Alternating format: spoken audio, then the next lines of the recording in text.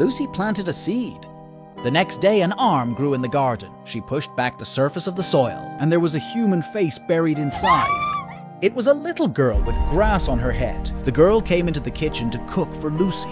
She accidentally cut her hand. The blood came out green. The girl made Lucy's favorite food. Lucy wondered how the girl knew. Then some dirt fell from the girl's body. Lucy took the girl to take a bath, but when she touched the water, the girl grew up. The girl gave Lucy a toy ring as a gift, but Lucy turned around and threw the ring out the window. It turns out the ring was Lucy's favorite toy. Her mom was in a car accident trying to buy it. That reminded Lucy of the past, so she chased the girl away. The next day, It was raining heavily. Lucy realized the girl wasn't home. She chased her out of the house.